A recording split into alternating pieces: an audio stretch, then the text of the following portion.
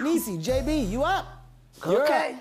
Jessica, do you prefer JB or Jessica? Tell me what you prefer. JB. I prefer JB. I'm not talking to you, Niecy. I'm not talking. Order my damn court.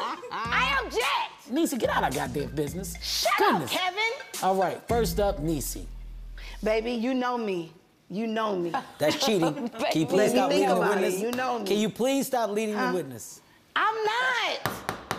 Niecy, you stand accused of stealing wardrobe from a show you worked on.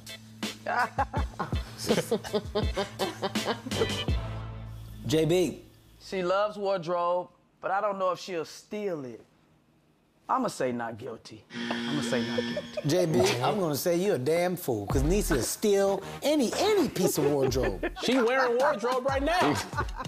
Yeah, that shirt's from Reno ah. 911. Yeah, that nail polish is from Claws. yeah, sure, sure.